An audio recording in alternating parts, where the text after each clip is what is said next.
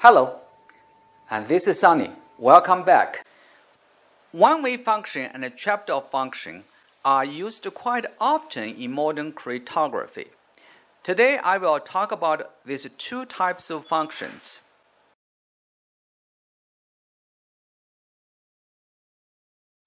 First, let's see two examples. The first example is smoothie making.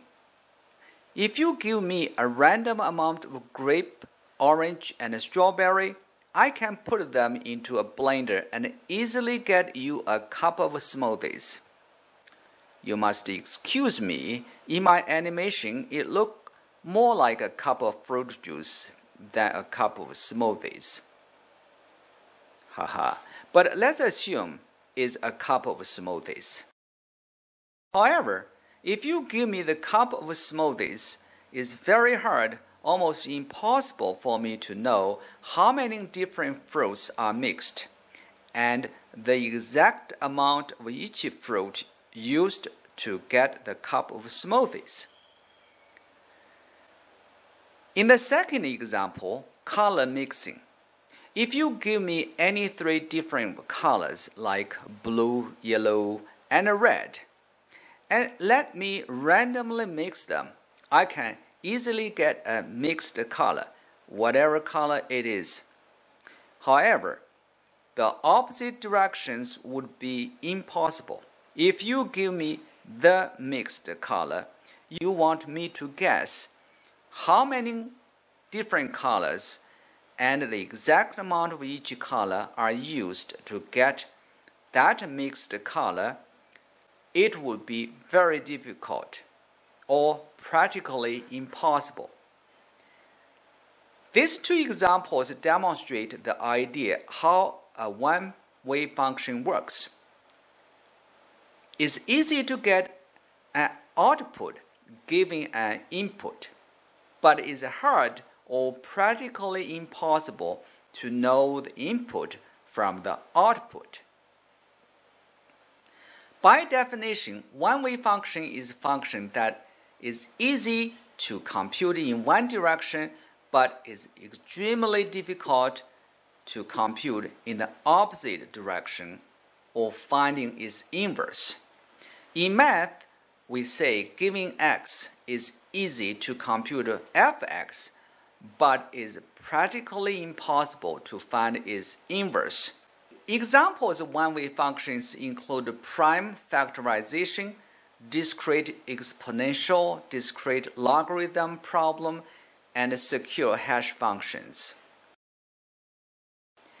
Here is a simple prime factorization example.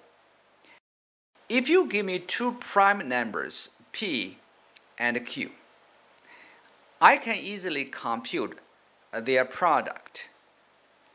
But if you give me the product of P and Q is this big number, you ask me what two prime numbers P and Q are, is not easy. And if the product is much, much larger, in, in, actually in, in practice, the problem becomes more difficult. Trapdoor function A trapdoor function is a special case or a subset of one-way functions. A trapdoor function is a one-way function. It's easy to compute in one direction, but it's difficult to find its inverse, except that with a secret given, it's easy to find its inverse. The secret is also known as trapdoor information. T. We use the letter T to represent the secret.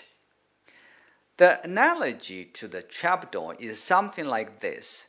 It's easy to fall through a trapdoor, but it's very difficult to climb back out unless you have a ladder.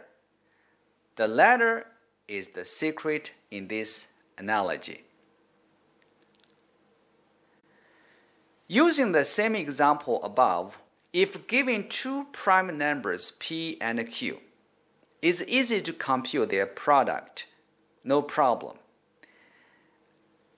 But given their product, this big number, is hard to find prime numbers p and q. That's one-way function. However, if p or q is known, it's also easy to find the other prime number. Trapdoor functions are widely used in public key cryptography. It enables anyone to encrypt a message which may only be decrypted by the one who has the private key. RSA crypto system uses the trapdoor function and the digital signature uses trapdoor functions.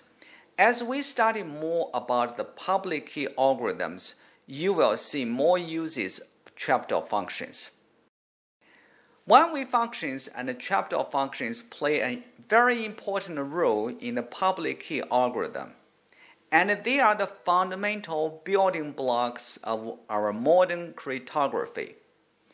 I hope this video is helpful. Thank you very much, and see you next time.